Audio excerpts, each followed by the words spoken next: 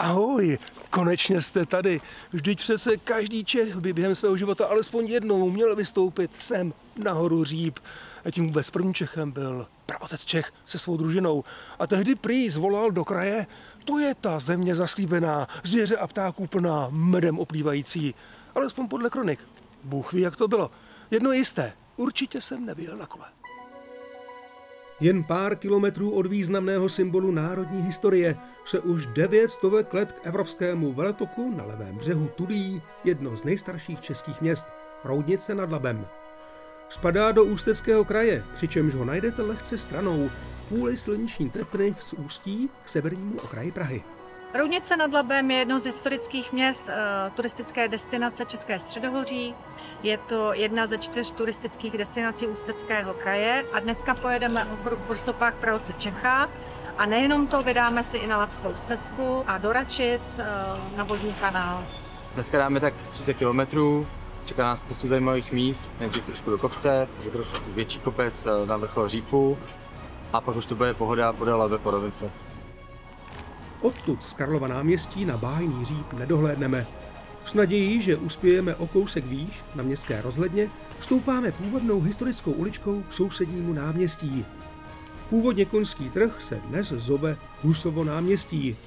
Jen kousek od něho 600 let dělá parádu a sama sobě reklamu vyhlášená hláska. Věž má cirka 28 metrů, dřevěný ochos je samozřejmě o něco níž, i tak poskytuje luxusní výhled nejen na město, ale zároveň také na podhoubí úspěchů místních sportů. Eh, když to vezmeme pohledem zleva, eh, teď tam vidíme, že jsou připraveni pravděpodobně kajakáři, eh, nedaleko je divoká voda, za tou pláží tam máme baseballisty, vpravo od toho potom vidíme krytý plavecký bazén, No a vpravo za mostem se nám za stromy trošku schovávají uh, fotbalisti, florbalisti, basketbalisti. No a potom vpravo ještě uh, jachtaři a veslaři. Dychtíme po dalších informacích z pozoruhodného letokruhu kmene pěkně rostlého města. Jehož prapůvodní výhonek byl trhovou osadou na Lužické obchodní cestě se jménem Růdnica, podle zde vyvěrajícího rudného pramene. Jdeme tedy zase na Karlák do turistického infocentra. Je to takový cílový i výchozí místo. Můžeme tady jako cyklisté zaparkovat kolo bezpečně, můžeme si tady dobít e-bajky, můžeme se tady vysprchovat a zároveň si tady koupím třeba stupenku na zámek nebo na hlásku. A to je skvělé, tady nechám kolo a těch pár kroků do zámku zvládnu bez něj. Přesně tak. Zámek je zaručeně nejcennější roudnickou památkou, urbanistická dominanta města na skalnatém ostrohu nad řekou. Dříve zde stával hrad, útočiště pražských biskupů. V 17. století jeho zbytky téměř doslova spolkl nový rozlehlý zámecký objekt.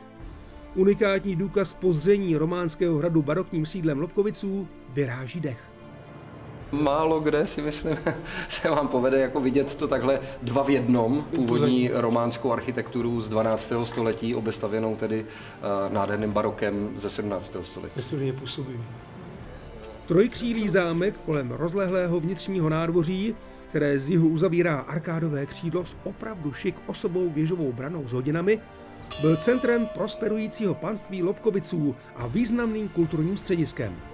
Rodina Lobkoviců vždycky byla velice aktivní eh, v oblasti kultury. Eh, sedmý kníže z Lobkovic eh, podporoval Ludvíka van Beethovena, takže například tady, ač dneska se to bude zdát až k nevíře, se třeba zkoušely Beethovenovy symfonie, které potom se hrály v těch největších hudebních síních po celé Evropě.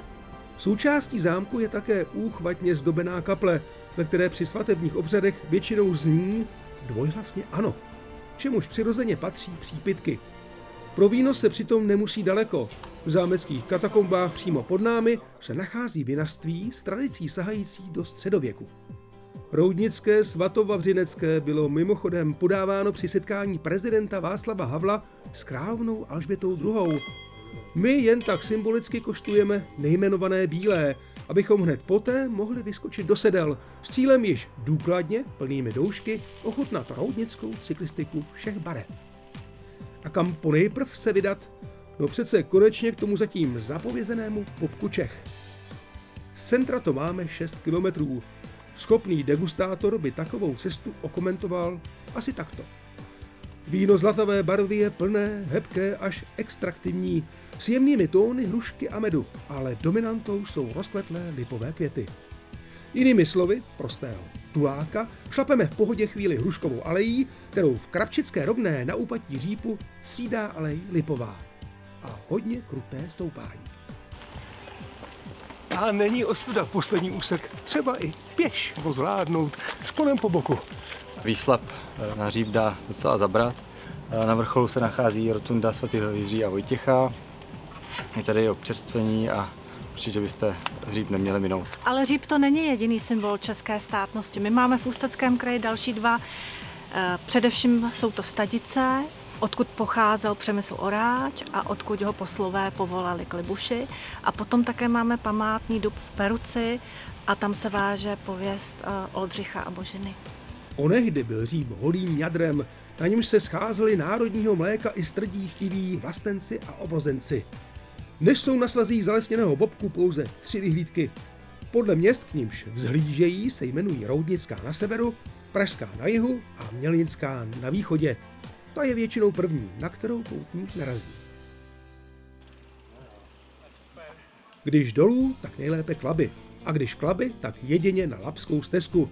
Ta totiž patří k nejspanilejším a nejpestřejším dálkovým cyklotrasám v Evropě.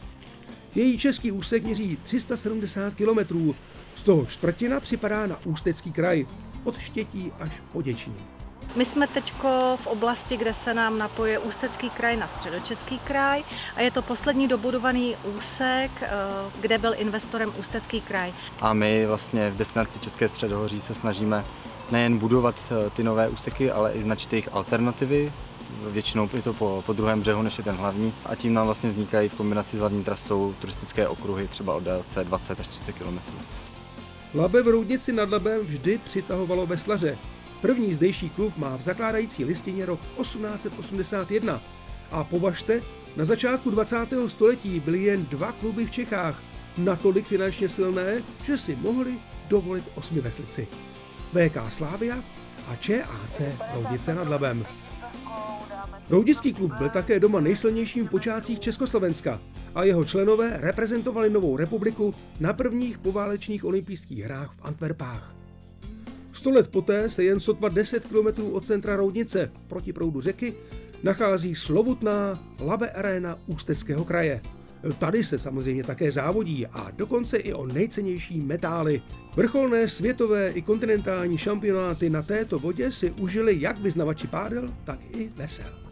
V loňském eh, roce byl světový šampionát ve veslování, který tady naposledy byl v roce 93 a zúčastnilo se tady nějakých 65 států ze světa, 1200 sportovců. Akce se, myslím, velmi podařila a byla velmi dobře hodnocena ze strany Mezinárodní federace FISA. K návratu do Roudnice nad Labem při úctyhodném veletoku užíváme, jak jinak, komfort labské stezky.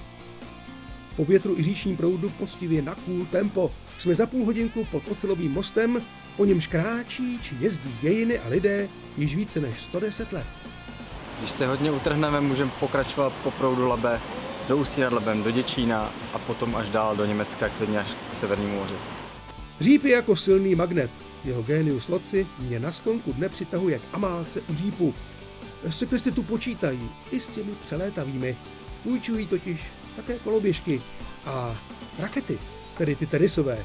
Mimochodem, není mnoho kurtů, kde můžete při hře pošlehávat po dějepisné jedničce mezi českými brdky. Pro vlky samotáře jsou k mání pokoje s vlastní saunou. Ti ostatní jistě ocení zdejší bazén pod střechou, kde kromě saunové výbavičky, infra i ála suomy nechybí ani výřivka.